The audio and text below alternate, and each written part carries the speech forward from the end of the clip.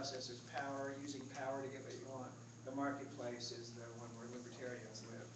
So we can argue until the cows come home about whether you should vote or not. I don't care what, what you do, that's okay, that's fine with me.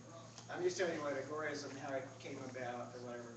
So the philosophy uh, as written was that um, to be consistent, uh, libertarians would only work in a marketplace kind of way, in a voluntary way, and that um, doing the, the voting uh, process and uh, promoting candidates would actually, in the end, increase the power of the state, even though you're doing it for the reasons of decreasing the power of the state. He basically said that wouldn't work.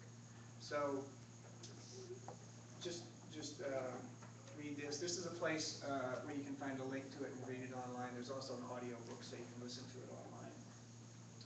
Then agorism then advocates the means is counter economics. And what he said was the establishment of economics uh, teaching, the purpose of it is to mystify people.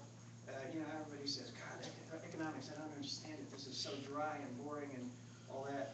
And he said the purpose of it is to mystify it so people don't know how their money is being stolen from them. If you got more clarity, you'd understand, well, there's this centralized banking system that's owned by this wealthy elite who have this plan to rob everybody's pockets all at once. That's counter economics, is fully, clearly understanding how we're being robbed.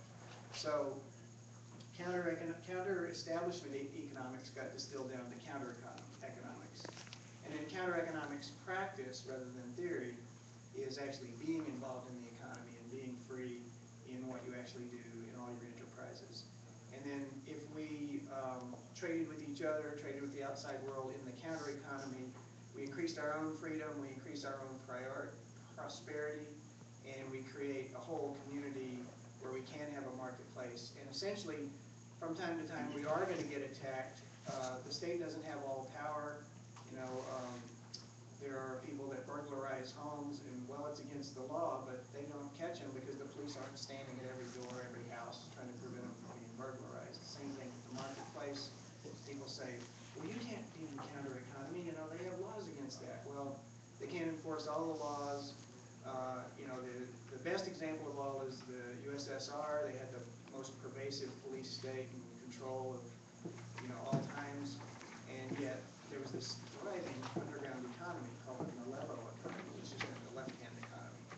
And what happened there was, and then I'll turn it over to the rest of the panel. I'm Jack Schmidt, by the way.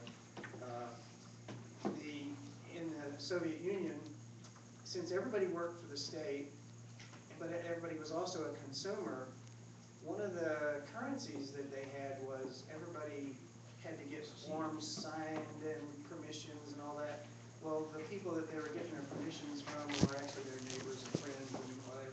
So there, there became a trade where um, um, approvals and whatever became another form of currency. And if you wanted to get your pipes fixed or something like that, and a plumber came to you for